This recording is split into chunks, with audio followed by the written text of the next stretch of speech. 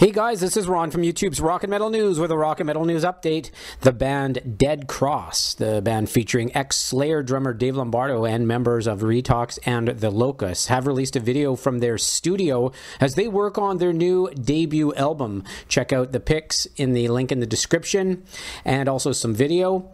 And upcoming shows, they have a couple of shows booked already as well uh, in Long Beach, California, Palm Desert, California, and Fullerton, California. Check out the dates in the description. And 99scenes.com has reported that Guns N' Roses, who may reunite in 2016, with a classic lineup may want lots of money for this to happen.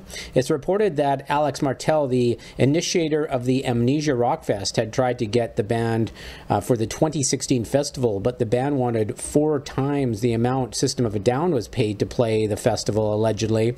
System of a Down reportedly was asking for an estimated one to two million for their set. That could put Guns N' Roses up to uh, eight million if the rumor is true. So stay tuned and you can check out that full story in the link in the description. And Superjoint, uh, also known as Superjoint Ritual, are currently at Phil Anselmo's Nosferatu's Lair. That's his recording studio. They're laying down some new material. Check out photos from the recording sessions in the link in the description. This is Ron from YouTube's Rock and Metal News. Thanks for tuning in.